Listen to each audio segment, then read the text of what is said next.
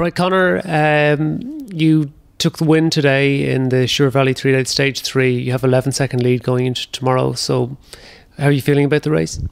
Yeah, it's been everything so far. It's pretty much went to plan. Like any race you do in Ireland, be it the Rás or this, it's basically a one day race every day. And this is so far, it's just been like a mini Rás, just staying in contention. That's it every day, especially the fact there's only two of us, myself and Ronan. Um, so yeah, tomorrow will probably be much of the same. Seems to have worked so far, and yeah, maybe be a little bit more conservative if possible. Um, try not to panic, but generally that's just yeah, that's how we'll play it. Yeah. Do you think it's going to be difficult to control 11 seconds, or do you think it should be enough? Thing is, unless I personally do something a bit stupid, it should be fine. I don't think there's anyone who's going to just ride away from me. You know, be able to mark anyone. Um, that's you know that that that shouldn't generally be a problem. But it's just making sure that I do stay concentrated for 130k or 120k, whatever it is, and yeah, make sure that nothing stupid happens. It was confirmed a few days ago that you'd be back riding for the the An Sean Kelly team. You were with them last year and then decided to to stop cycling indefinitely. Can you talk a little about that decision? What made you come to that decision, and what's happened since then to change your mind?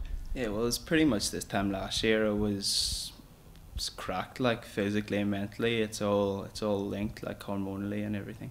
Um, so as far as I concerned, I was concerned I was walking away from the sport.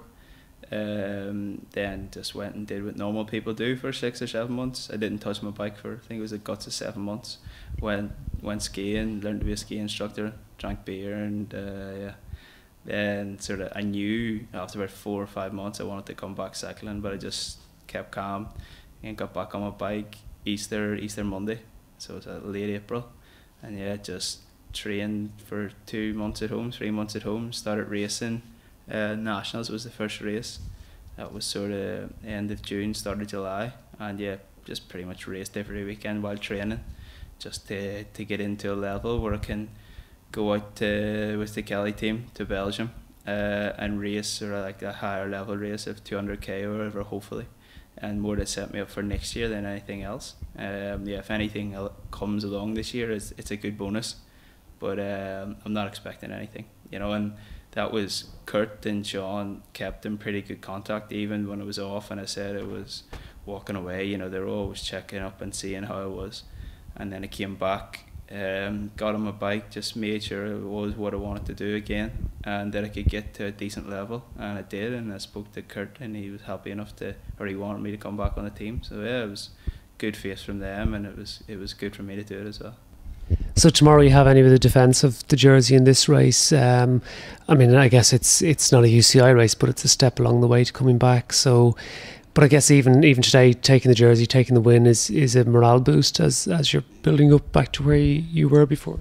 Yeah, it definitely is. Like this year, I know I've only been racing in Ireland for like a month, but I think I've already won four races or whatever. And whenever you have a big target on your back, it's not always the easiest thing to do in the world. So it's all just good, positive indicators. Like I know you can't really compare a race from one year to the next, but if I look last year here, I was like tenth and I was riding full gas and I was nearly struggling.